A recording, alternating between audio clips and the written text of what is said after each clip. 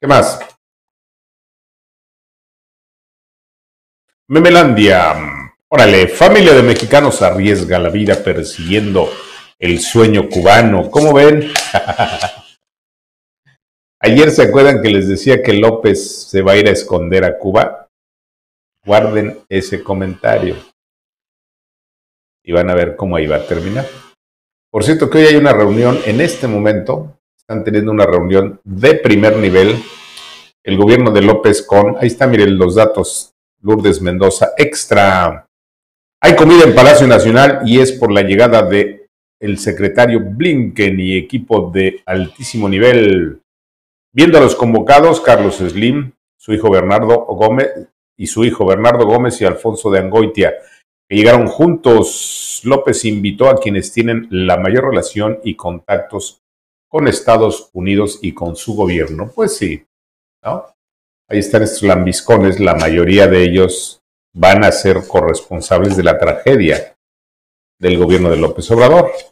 Lo van a pagar, ya lo va a ver. ¿Qué más? Órale, ¿cómo ven? Simón Pedro, no alcanzo a leer, jóvenes, está muy lejos. Piñatas Ramírez lo hace de nuevo. Piñatas Ramírez, ¿cómo ven? no, bueno. Eh, ¿Cómo ven? Largo camino para robar. Pues sí, Andrés Manuel López Obrador, 1976, cuando estaba en el PRI, luego PRD y luego hoy en Morena. El largo camino para robar. Pues Así se construye un ratero, un ladrón y un criminal. ¿O no? ¿Qué más? José Luis, la UNAM renueva su imagen. Órale. ¿eh? Ya no es el puma, sino son las chinches. Qué vergüenza. Aunque no les debiera dar tanta vergüenza, porque en París están igual, ¿eh? Infestados de chinches. No, bueno. ¿Qué más? ¿Qué más? A ver, vamos a ver estas imágenes. Órale. Les hablan, ¿eh? ¿Cómo ven al Señor? Y luego esa manita la pone para el beso. El beso del diablo, dicen algunos. ¿Qué más? Ciro Gómez Leiva deja en ridículo a Epigmenio Ibarra por la verdad histórica en caso Ayotzinapa. Fíjese que hoy me di cuenta, yo la verdad no me había percatado de que me tiene bloqueado el pigmenio. Hoy estoy preocupadísimo, casi lloro. No, bueno, ¿qué más? Otras imágenes. Mi conciencia está tranquila, dice López Gatel, por su gestión durante la pandemia. Ajá, güey. Sí, tu conciencia está tranquila. Eso quiere decir que no tienes ni conciencia, güey no tienes madre. Tres, tras amenazas del cártel Jalisco, alcaldesa de Tijuana pide investigar a artistas del narco, de narcocorridos. No, bueno, después de apaleados todavía perseguidos, no, ya es el col. Esta señora no tiene la menor idea de nada. Video Sandra Cuba se enfrenta con un grupo de personas en la central de Abasto. Pues sí, ¿qué no se ha dado cuenta la señora Sandra que la central de Abasto es también una central mafiosa? Es uno de los principales centros del crimen y del narco. Por el amor de Dios, hombre, abran los ojos ya. Déjense de cosas. Mire, le voy a platicar una anécdota muy rápida. Hace muchos años, muchos, muchos, yo iba todos los días también a la central de Abasto, que antes estaba en lo que era la vieja Merced y luego se cambió la central de Abasto. Y ahí aprende uno, yo tenía una pequeña tienda, aprende uno que las mafias son en serio. Y las mafias del aguacate, del jitomate, de los plátanos, de, todo. Es una gran mafia. Y si usted no le entra, pues mejor. Por eso, pues mejor nos dedicamos a otra cosa. ¿Qué más? Y no lo han visto, no lo quieren ver, se hacen güeyes. ¿Qué más? ¿Qué más? Vamos a los moneritos. Órale, ahí están todas las calacas y ¿qué creen? ¿Eh? Popularidad de López sigue para arriba. No es por presumir, pero nomás vean, pues sí, la popularidad de los panteones. No tiene madre este güey. Ahí está otra, ¿eh? ¿Cómo no? Le ¡Ay, el partido verde lleno de dinero! La casa gana, pues sí, ¿no? Los militares, pues siempre ganan. Ahí están. Son los que van a cuidar a Claudia y a Xochitl. Les repito que, en mi opinión, Xochitl no debería de aceptar eso, pero bueno, cada quien. Hijazo de mi vida, nos faltan 43 contratos en Pemex para la siguiente fiesta. es un farsante. ¿Qué más? No hay más cuota que la nuestra. Capisci, ¿ya entendiste? Morena, pues sí.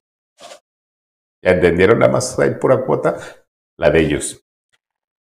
Abuelito, dime tú, 2 de octubre no se olvida la sangre de ¿qué? derramada, las vidas perdidas.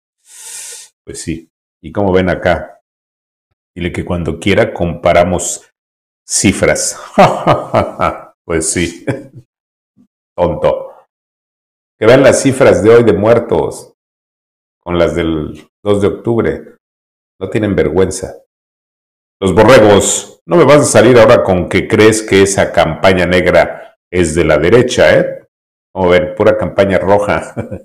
no es campaña negra, es campaña de sangre. Este país está ensangrentado. ¿Qué más? Eso de que me estoy preparando para pasarme a la posición porque no me incluyen en las encuestas de Morena, son puros chismes, ¿eh? ¿Ya me entendieron? Como ven, dice el narco. ¿Qué más? Justicia y democracia en México, pues sí. La justicia encerrada y la democracia también secuestrada. Esa es la verdad. ¿Cómo ven? Dice chinches en París y chinches en la Ciudad de México. Pues sí, pinches chinches. No, no, no, bueno. ¿Qué más? No te oigo. Ah, sí, sí, ahora sí. Emilio Álvarez y Casa. Personas que han sido víctimas de la mala procuración de justicia de la Fiscalía realizaron una rueda de prensa a las 11 horas en el Club de Periodistas. Expondrán las razones por las que Ernestina Godoy no debe continuar. Esto fue el día de ayer, si mal no recuerdo. Y y bueno, le pusieron una paliza. Esta farsante es una señora que francamente debe estar en la cárcel. Por rata y por criminal. Punto. ¿Qué más? Van Pipe, por si lo borra, la doctora Claudia Sheinbaum, no permitiremos que se involucre al ejército en el ataque a normalistas. Osorio Chong, o son encubridores o cómplices. No, bueno, nomás para que no lo vayan a borrar, ¿eh? Condenaron a ocho. Esta es una. Una atrocidad. Chequen, por favor, el significado del término atrocidad. Condenan a ocho años de prisión a periodista rusa que protestó contra la guerra en Ucrania en televisión. Además, Marina Obsinikova no podrá trabajar durante otros cuatro años. ¿Qué es lo que hace López Obrador aquí? López Obrador me inventó, me difamó, me inventó cosas para sacarme de los medios. Y luego les habló a todos los medios grandes para decirles, si contratas a ese güey, te las vas a ver conmigo. Es lo mismo que están haciendo el dictador ruso. Uno es Putin y el otro quién sabe qué será. ¿No? Ahí se las dejo. Lo quieren traer para salvarlo. Es parte de la tranza. ¿Qué más?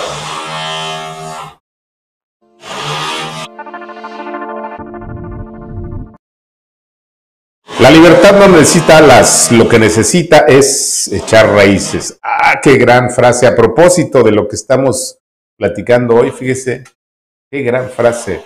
La libertad no necesita alas, lo que necesita es echar raíces. Octavio Paz, uno de mis favoritos en todo el mundo. Ya nos vamos, pásela bien. Una disculpa por este ruido infernal, pero pues ni modo. Ya hasta les voy a ir a tocar ahorita. Oigan, no pueden con eso, ya tienen dos, tres horas, no puede ser. Bueno, gracias a Dios.